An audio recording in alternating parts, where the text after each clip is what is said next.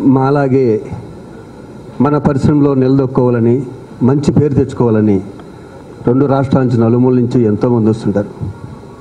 కొంతమందికి అవకాశాలు దొరుకుతాయి. మూవీ ఆర్టిస్ట్ అసోసియేషన్ అన్నది అవకాశాలు ఇప్పించలేదు.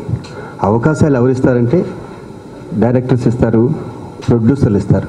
ముందుగా ఇది ఎందుకు చెప్తానంటే మేము మూవీ ఆర్టిస్ట్ అసోసియేషన్లో తెలుగు వాళ్ళకు ఇదిగో ఇలా మేము వచ్చాక ఇలా బ్రోచర్ చేసి సార్ మా వాళ్ళు మా ఆర్టిస్టులు చాలామంది సీనియర్స్ సీనియర్స్ కష్టాల్లో ఉన్నారు. వీళ్ళకి వేషాలు ఇప్పించినాయని తేజ గారు లాంటి డైరెక్టర్ని అడిగితే పది మందికి ఇచ్చారు. ఇప్పుడు తేజ గారు చేసే సినిమాల్లో కూడా చాలామందికి ఇస్తున్నారు. అలాగే నేను కానీ నరేష్ గారు కానీ శ్రీకాంత్ గారు కానీ ఎవరైతే కొంచెం సినిమాలు చేస్తున్నామో వాళ్ళందరికీ కూడా ఇప్పించవలసిన బాధ్యత మాకుంది. ఈ విషయం ఎందుకు చెప్తున్నానంటే ఈరోజు మధ్యాహ్నం తేజ గారు నాకు ఫోన్ చేసి శివాజీ నేను మన శ్రీరెడ్డి గారికి ఆ రెండు సినిమాలు ఇస్తానంటే సార్ మీరు ఇవ్వండి.